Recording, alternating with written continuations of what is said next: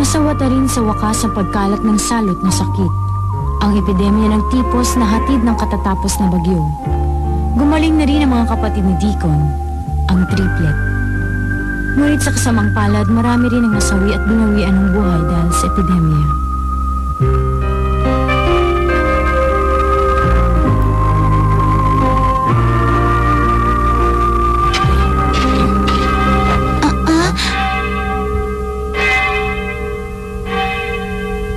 Binawian na naman ng buhay. Sino na naman kaya?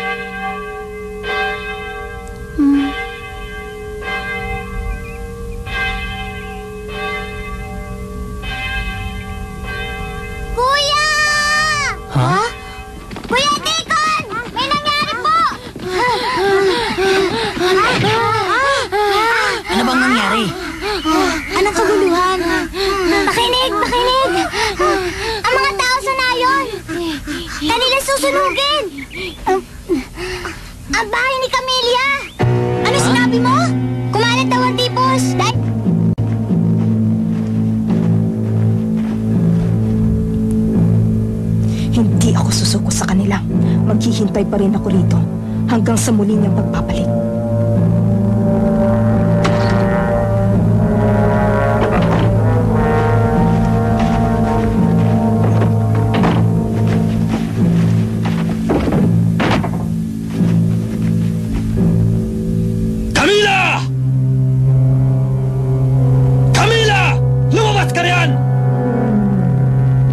Salot at kampon ng kasamaan! Ayaw na namin ng salot sa nayon! Ikaw ang nagdala ng salot sa bayang ito! At ikaw rin ang kumigil sa buhay ni Mrs. Craven! Isa kang nagkukulang! Ano pang hinihintay ninyo? Itaboy ang salot aswang!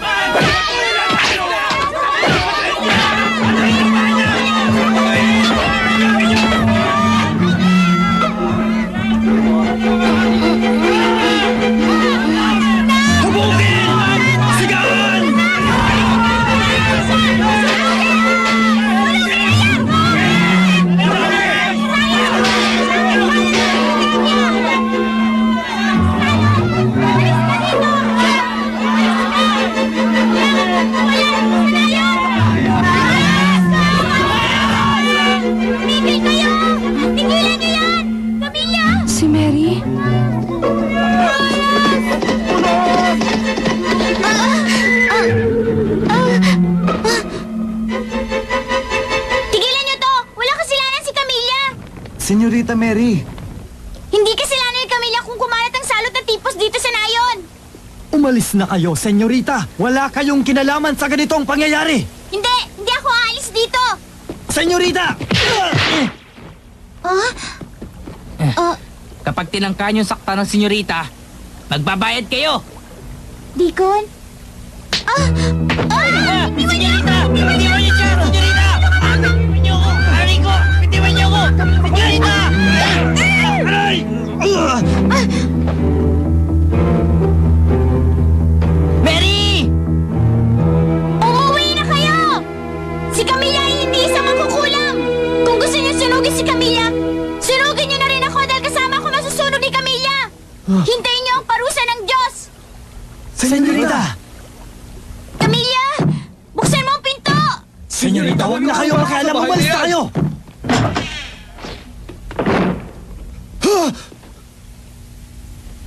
Mary, bakit mo ginawa ito? Camilla? Senyorita! Oh, Huwag kang maniwala sa kanya! Senyorita, hindi mo ba alam na siya ang pumaslang kay Mrs. Craven? Tama!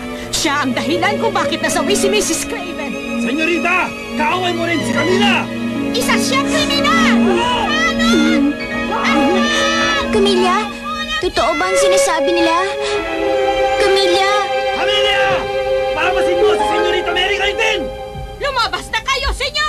Lumabas ka na, Mary.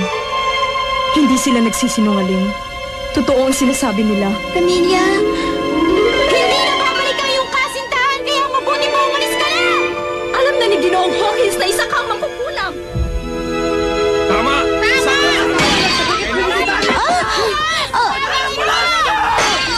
Lisa, malis ka na! Ayaw namin! Malis ka na sa ka dapat pumunta rito. Mapanganib. Ngunit ikaw, Walang mangyayari sa akin. Umalis ka na. hindi! Hindi ako aalis! Ayoko! Hindi ako makakapayag, Camilla!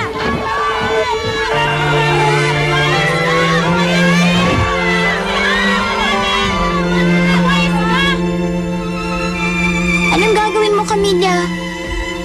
Hindi kita maaaring hayaang mapahamak. Camilla!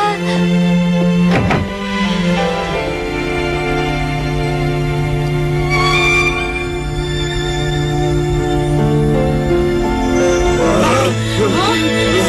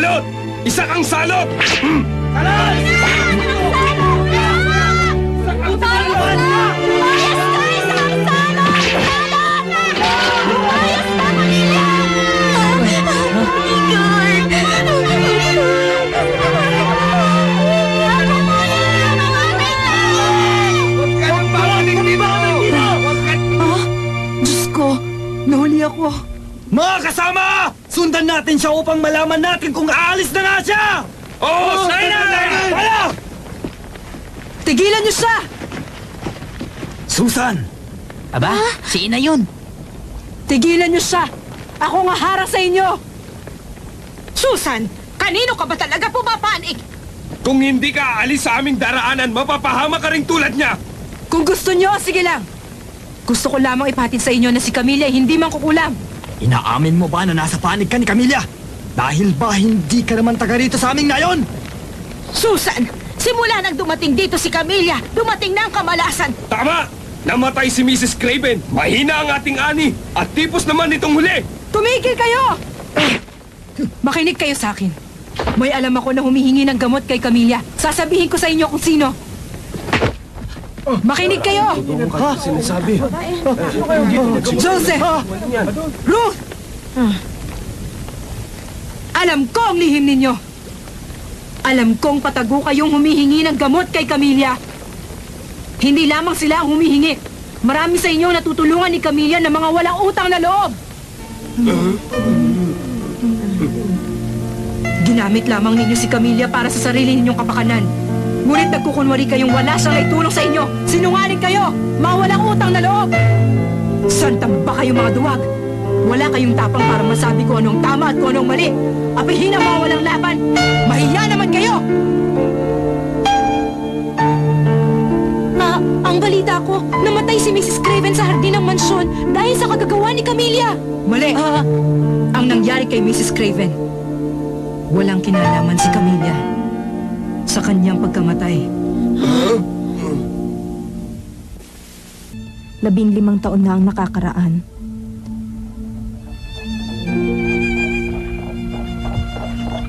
Dito ko nakilala si Mrs. Craven sa unang pagkakataon. May sakit noon si Ina. Gutom at pagod marahil. Dumaan ang karuwahe ni Mrs. Craven. Handa siyang tumulong, ngunit tinanggihan ko. Ganun pa man, nakuha niyang dalhin ng aking ina sa kanilang mansyon at doon, siya ang nag-aruga.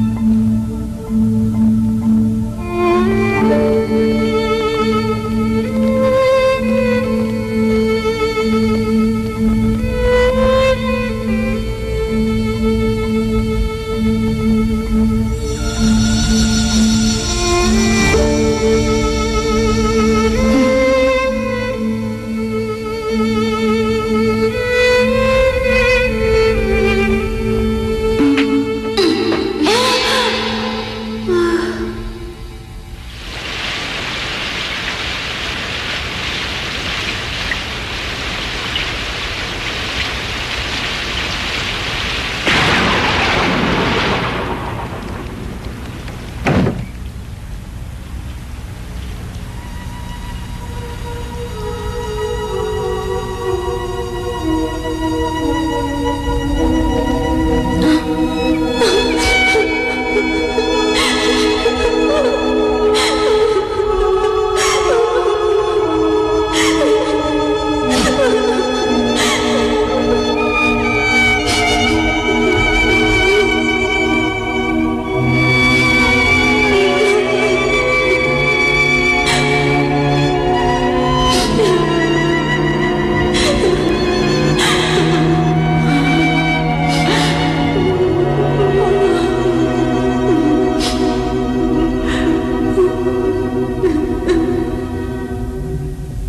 Pagkatapos ng libing ng kanyang ina, sa mansyon na nanirahan si Camilla.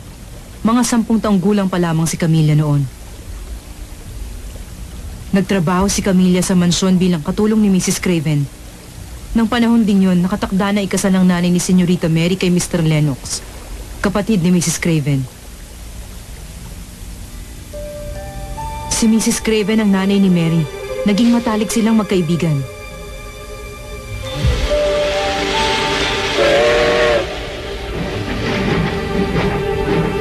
Araw na kailangan magtungo si Mr. Lennox sa India. Naunang umalis ang ina ni Senyorita Mary. At noon naganap ang malagim na aksidente. Elias, ipangako mo hindi ka muna lalabas ng bahay habang wala ako. Pangalagaan mo mabuti ang iyong sarili. Huwag kang mag-alala, Archibald. Ngayon pa bang malapit ko nang isilang ang ating anak?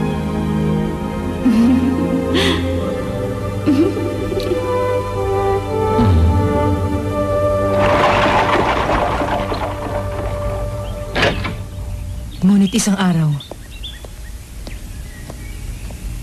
Mrs. Craven? Mrs. Craven, saan kayo pupunta? Huwag kang mag-alala. Pupunta lang ako sa hardin, pipitas ng rosas para sa iyong kaarawan. Pero, nangako kayo kay... Pero kakaibang rosas ito.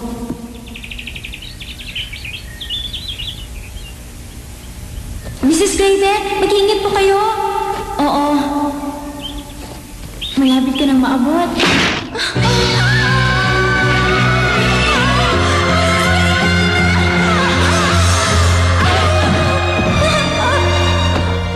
maabot niya ang roses, nabali ang sanga ng puno.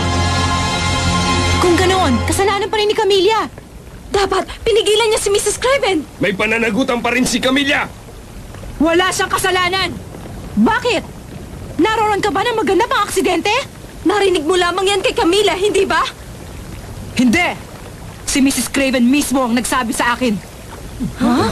Usap niya si Mrs. Craven bago pa lang sabay. Sabi sa kanya. Saklolo!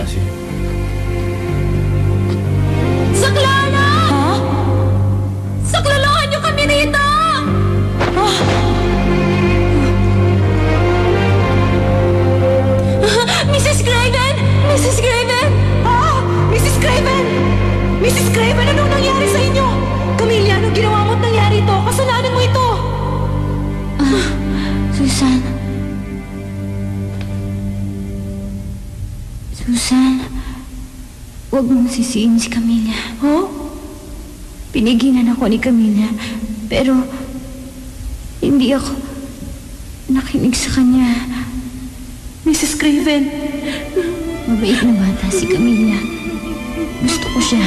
Nais kong ibigay sa kanya ang hindi pangkaraniwang rosas para sa kanyang kaarawan.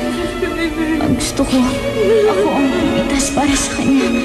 Pero, Susan, gusto ko ikaw ang magsabi ng buong katotohanan para sa lahat. Pakiusap.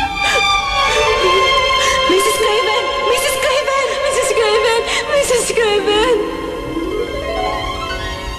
Nang gabi rin yun, nagsilang si Mrs. Craven sa isang sanggol na lalaki.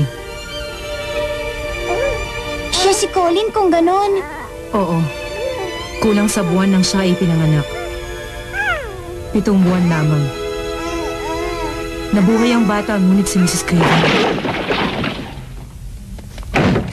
Ha? Lilias? Lilias? Lilias? Bakit? Bakit hindi ka nakinig? Patawarin mo. Aking...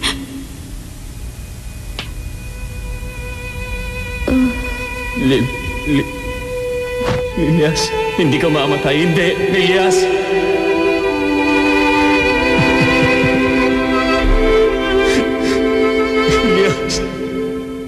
huwag mo akong iiwan. Lilias! Ah, ah. Hindi na lamang sana ako umalis dito sa mansyon.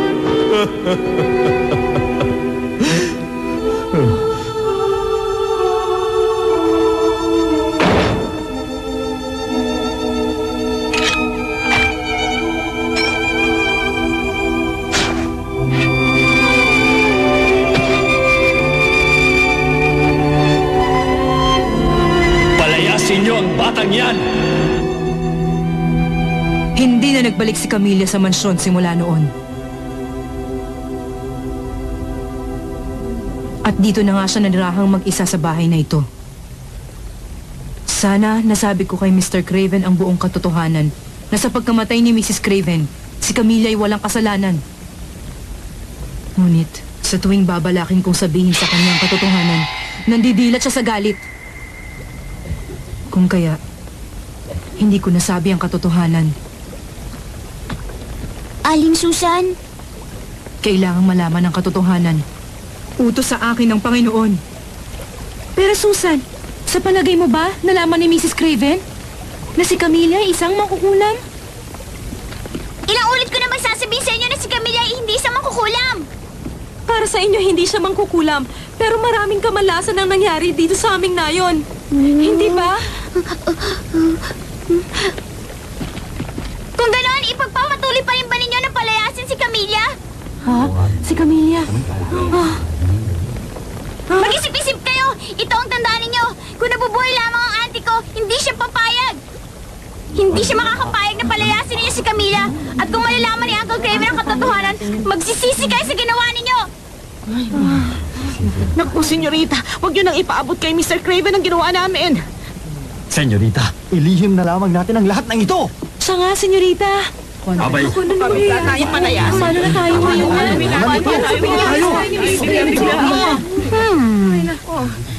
O sige, hindi ko na sasabihin. Mm, pero lahat ng lihim ay nalalaman din. Di po ba, Aling Susan? Hmm, hindi ang lihim. Pero ang katotohanan ang nabubunyag sa bandang huli. Ngayon, naniniwala na ba kayo kay Camilla na hindi siya isang mangkukulam? Eh, Maraming salamat sa inyo! Alam na ninyo ngayon ang katotohanan.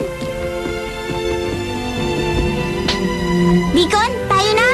Hanapin natin si Camilla. Sige.